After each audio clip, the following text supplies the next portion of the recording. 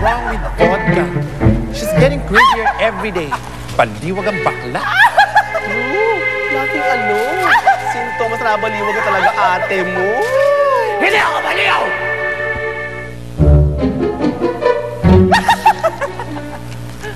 Masaya lang ako. Hindi niyo ba ito nakikita? Look closely. April? Annabelle Tire Supply, Vulcanizing, and Battery Shop. Mga gaga, wala dyan. Eto. May! May what?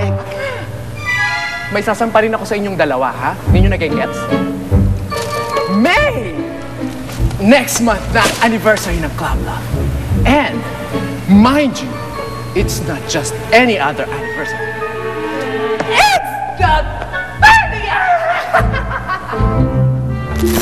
O, kumusta siya, Doc? Okay naman ang kanyang BP. Everything seems normal. Are you sure naninikip ang dibdib mo? Oo naman, Dok. I'm pretty sure. Kanina nga eh, parang naninikip na naman ang dibdib ko eh. Pero nung nakita ko na si Kenneth, I think I'll feel better, ma. Thank you for coming, Iho, ha? O, sige. Ihatid ko na si Doc sa labas.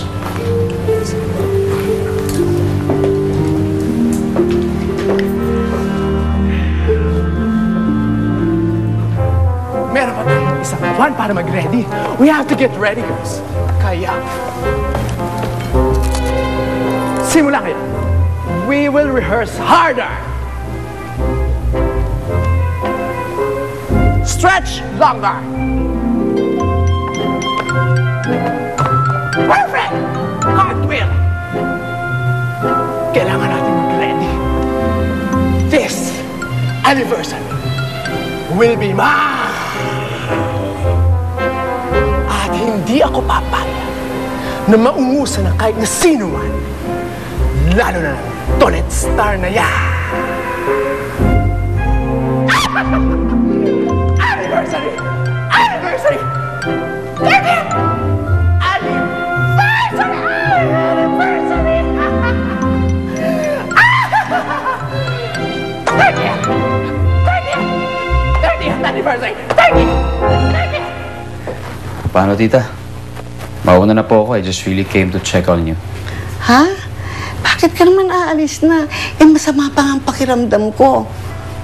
Tita, kasi may, may naiwan po akong trabaho sa club eh. Naantay na rin ako ni Tita Marita. Total, sabi naman ng doktor, okay naman po kayo. Ay, nako. Alam mo, may intindihan ni Marita yon. Dahil nandito ka naman eh. Please naman.